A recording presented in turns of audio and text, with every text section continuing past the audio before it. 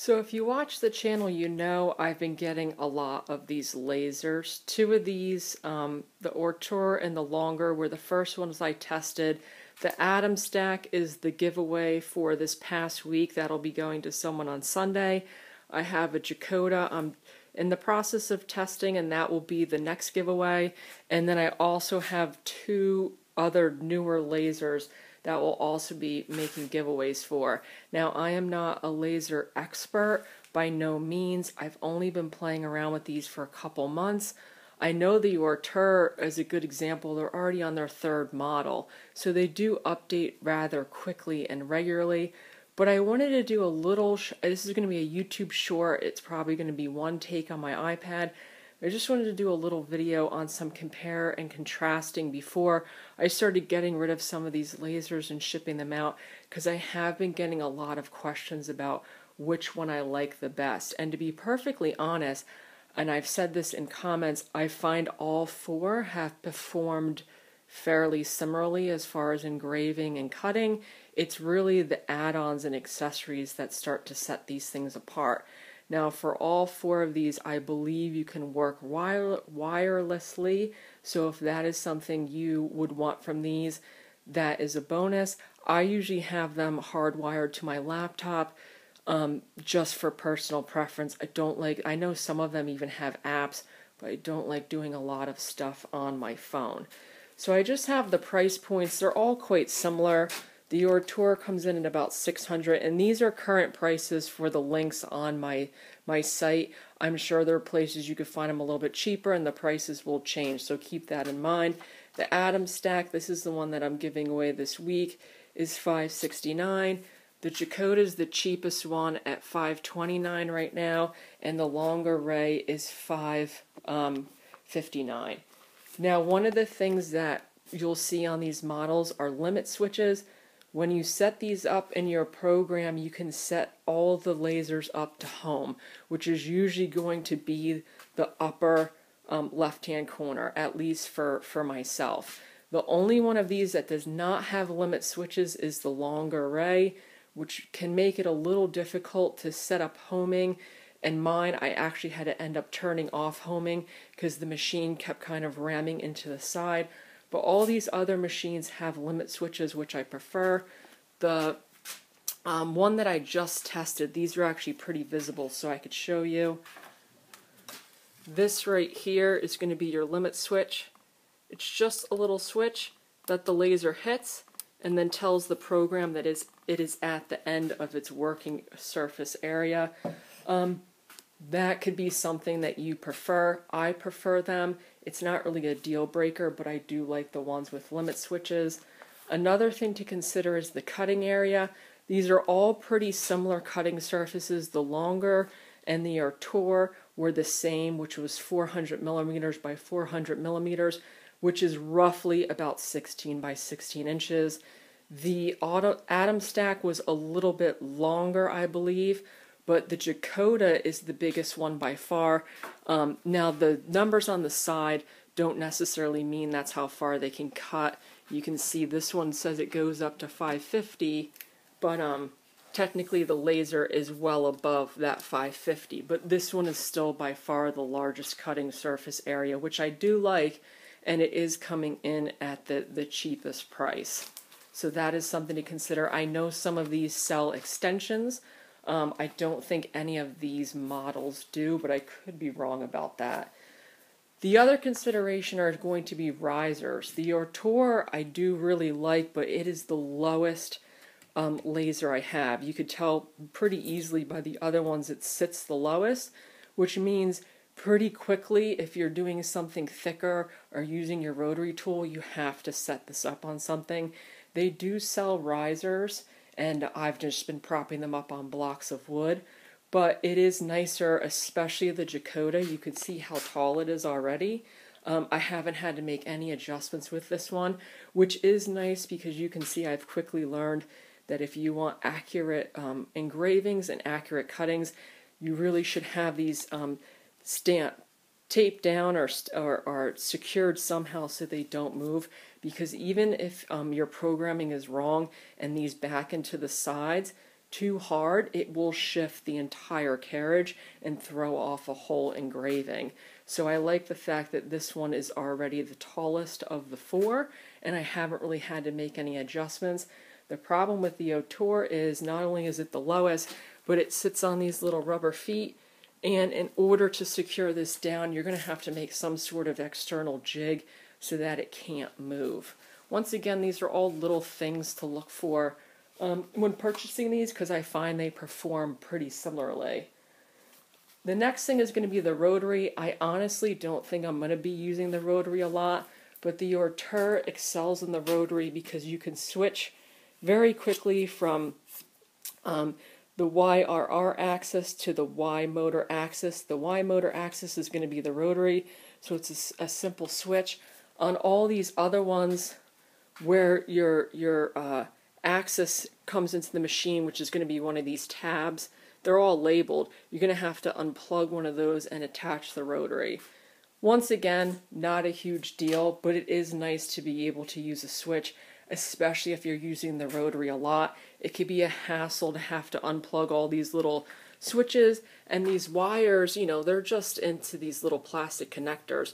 If you're constantly yanking these in and out, I could see them breaking uh, quite quickly.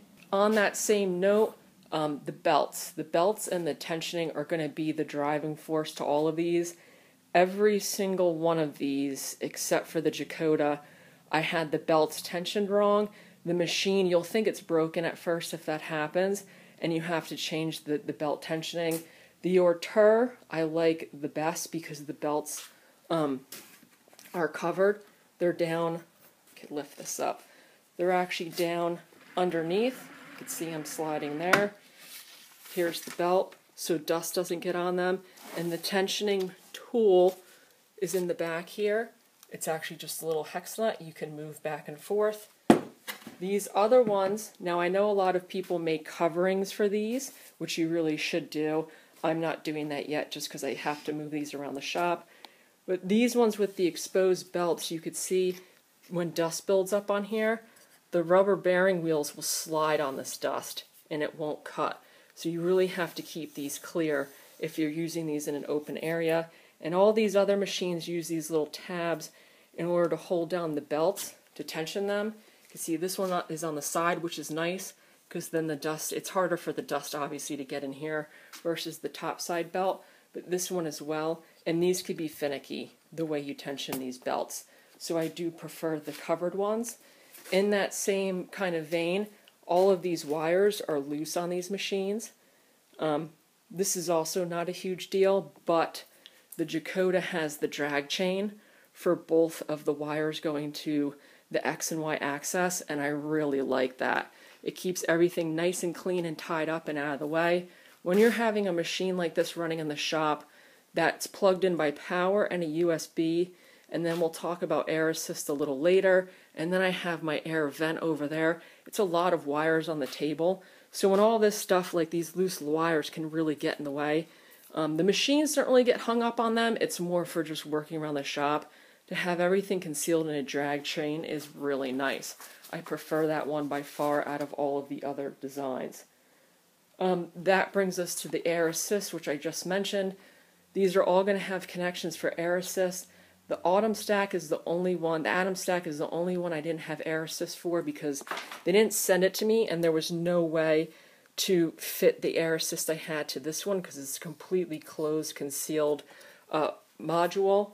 But the Ortur has a nice port on the top for just hooking up air assist. Makes it super simple and easy to do.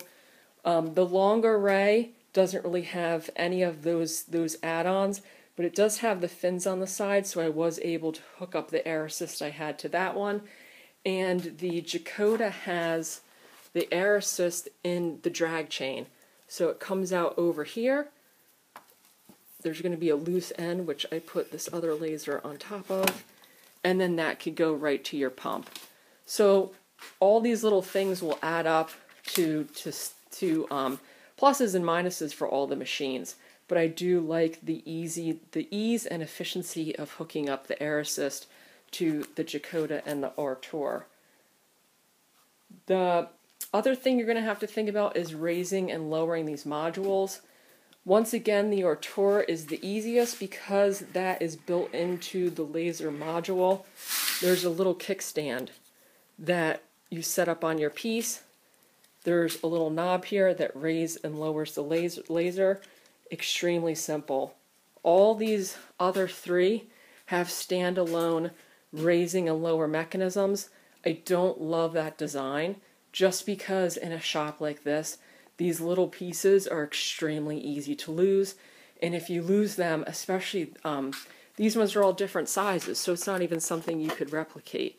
This one actually has a measuring tool depending on the thickness of the material, which I'm assuming is a bonus because it will then, in fact, give you more accurate results. But this is a standalone piece. Now, there is a hole in this, so if I was keeping this one, I would probably just put um, a string or something and attach it to the lasers but it would be nice if they all had little sections where you could keep these pieces so you don't lose them.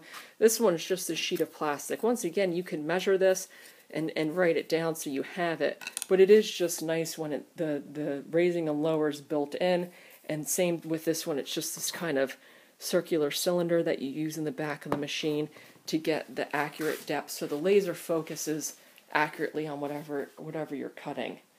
Um, as far as build time, I know for, personally, I found they were all extremely simple to put together. Some are more time consuming than others. For instance, out of the box, the gantry was together for the Artura and the longer, but I had to put together the gantry for the Atom stack and the Gekoda. The gantry for the Atom stack, in general, I find this one to be the, the most basic of the four, was extremely easy to put together. The Gekoda was the longest uh, time commitment for putting this together, but I it has a lot of features that I like, like putting together the drag train and all of uh, drag drag chain and all of that took a little bit of time, but I, I do think it's worth it because it is a nice design element. But I would say I had all these together in an hour and a half and was testing them, and the Gekoda was was towards the the higher end of that time commitment. And then one of the last things that I'm going to point out for this video, and I imagine I'll have a couple more of these as I test these more and more because the goal of these lasers are I think they're really cool machines and I just want people to be as informed as possible about them because sometimes on the websites and whatnot they're going to tell you things that aren't necessarily accurate. Um, but the other thing is going to be how the laser moves. So the, the um, and the Gekoda do not have any external um, accoutrement, if you will, in order to move the laser. That for me um, is also not a deal breaker. The Atom Stack has an external display, and so does the longer ray, which I will admit are nice. I do like them. I've used them on both machines, especially the longer ray. But honestly, that is mostly for the longer ray, that was mostly because since this machine didn't have limit switches and I couldn't get it to home, I had to use the, the panel in order to set up the machine. If this had a homing device, I probably would not have used the display um, as much as I did. But they are nice um, to as accompaniments to to the laptop, and I'm assuming, like I said, I haven't used these wirelessly yet, but I'm assuming if you want to primarily use them wirelessly, that is where the external display will really come into handy and, and be helpful with, with these. But that's kind of the basic. There was at least 10, 10 or so bullet points on these machines. Um, I wanted to do that, like I said, these two are getting shipped out within the next couple weeks, and I wanted to compare and contrast before before they're out of my shop. I've said this in all the videos. I think the big thing with these machines are going to be longevity and unfortunately, especially with giving some of these away, it's just going to not be possible um, to be able to gauge that. But the ones in my shop, I will keep you up to date on because, like I said, they all perform pretty similarly. These are an example of that. I've tested and cut on all of these so far. Now, the settings you have to change, which is why some of these are darker than others. I've pretty much used the same settings on all the engravings, but as far as engravings and, and cutting, so far every single one of these has performed without a hitch. Um, the main issues I've had, like I said, were getting the belt tension right in the first place. Because if you don't get the belt tension right, or if you have dust on the belts, the laser will not move properly.